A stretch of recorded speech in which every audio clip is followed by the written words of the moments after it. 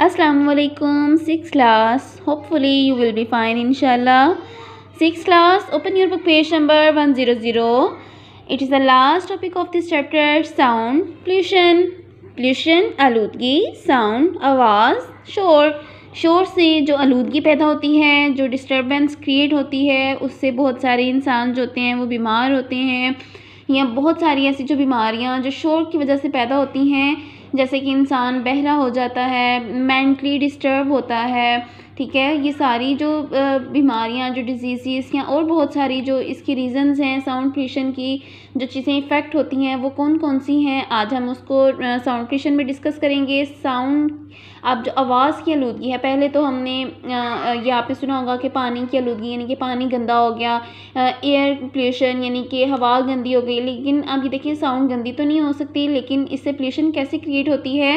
यानी कि जब बहुत ज़्यादा शोर होता है तो उससे क्या क्या बीमारियाँ हो सकती हैं क्या क्या वो लोगों के ऊपर इफ़ेक्ट करती हैं, वो हम डिस्कस करेंगे और वो सारी चीज़ें जिसमें आएँगी साउंड पोल्यूशन में जैसे कि सबसे पहले है प्लेजेंट साउंड्स आर म्यूज़िकल जैसे कि प्लेजेंट्स जो खुशगवार आवाज़ें होती हैं जैसे कि नात हो गई या कोई सॉन्ग वगैरह हो गया या कोई मिली नगमा हो गया जो आपको सुनने में बहुत अच्छा लगता है ठीक है? As the changes in the frequency and amplitude जैसे ही आ, कोई भी वॉइस है उसकी जब फ्रिक्वेंसी या एम्पलीट्यूड चेंज होता है। फ्रिक्वेंसी की डेफिनेशन और एम्पलीट्यूड की हमने इस चैप्टर के स्टार्ट में डेफिनेशन पढ़ी थी। फ्रिक्वेंसी जो कि सेकंड्स में वो अपना ऑसिलेशन कंप्लीट करती है, कोई भी वॉइस या वेव्स होती है और एम्पलीट्यूड जो कि उसकी पोजीशन होती है सेंट्रल से एक्सट्रीम तक तो ये तो हमने फ़र्स्ट प्रीवियसली डिस्कस कर लिया। तो कहते हैं उसमें जब चेंजेस आते हैं तो वो उनकी वेव्स जो होती हैं, जब वो रेगुलर होती हैं और ग्रेजुअल होती हैं। यानी कि तरतीब के साथ और ग्रेजुअल यानी कि आहिस्ता आहिस्ता एक सीक्वेंस के साथ ये जो वेव्स होती हैं वो मूव करती हैं। इरेगुलर जो कि बेतरतीब आवाज़ होती है। जैसे गले में हराश हो जाए तो वो कितनी बुरी सी आवाज़ निकलती है। या जैसे कि गाड़ियों के हॉर्न वगैरह हैं या फैक्ट्रीज़ हैं, जैसे मशीन्स वगैरह चलती हैं तो उनकी आवाज़ बहुत ही ज़्यादा बुरी होती है। तो जैसे आपको सबसे सब जानवर में जो बुरी आवाज़ होती है वो तो ऑफ़ कोर्स गधे की होती है, क्योंकि वो बहुत ही अजीब तरीके से साउंड प्रोड्यूस करता है। यानी कि उसमें कोई भी सीक्वेंस नहीं होता। उसमें जो उसकी वेव साउंड होती है तो कहते हैं इरेगुलर जो बेतरतीब आवाज़ होती है एब्रप्ट यानी कि अचानक जो उसमें चेंजेस उसकी फ्रिक्वेंसी में आ जाती हैं तो उसकी वजह से उसका एम्पलीट्यूड और फ्रिक्वेंसी भी चेंज होती है। तो उससे ऐसी जो वेव्स जिनमें इरेगुलर और एब्रप्ट चेंजेस हों इससे जो साउंड प्रोड्यूस होती है, वो नॉइस यानी कि शोर क्रिएट करती है। ठीक है? अब जैसे कोई पर्सन है तो वो नाद पड़ रहा है तो वो बहुत अच्छा लग रहा है। लेकिन जैसे ही उसका थोड़ा सा गला ख़राब होता है या गले में खराश आती है तो क्या होता है कि उसकी आवाज़ एकदम से चेंज होना शुरू हो जाती है। तो चेंज होने की वजह से फिर वो आपको बहुत बुरा सा फील होता है, ठीक है?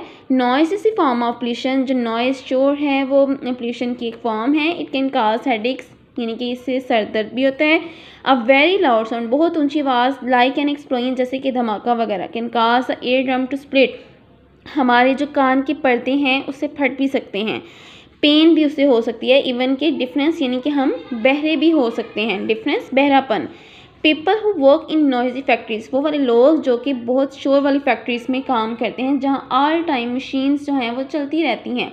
ठीक है, जैसे लोहा बनाने वाली और बहुत सारी फैक्ट्रीज़ हैं डिफरेंट हैं, जैसे कपड़ा जहाँ बनता है तो उधर जब मशीन्स चलती रहती हैं, चलती रहती हैं तो उससे क्या हो गया ऑल टाइम साउंड जो है वो वहाँ पे प्रोड्यूस होती है ऐसे नॉइज़ी तो वहाँ पे जो लोग काम करते होंगे, आप कभी नोट करिएगा कि उनको बहुत ऊँचा सुनाई देता होगा।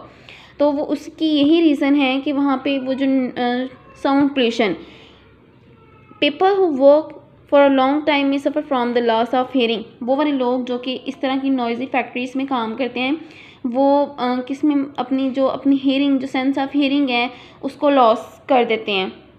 ना open your book page number one zero two we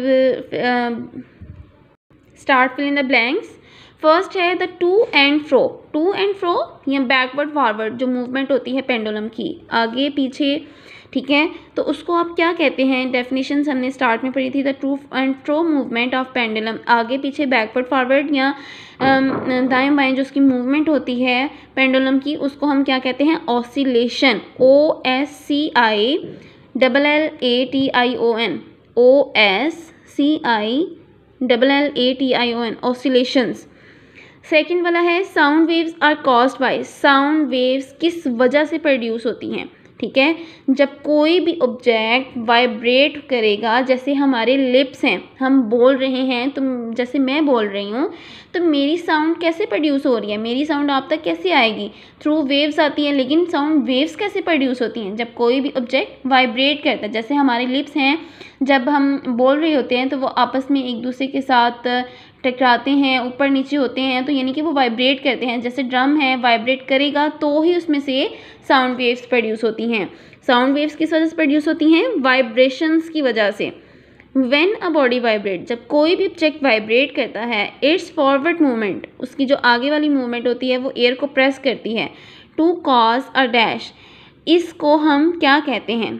ठीक है? जब किसी भी चीज़ को प्रेस करेंगे तो उसको हम क्या कहेंगे? कॉम्प्रेशन कंप्रेस्ड यानी कि वो चीज़ दब गई।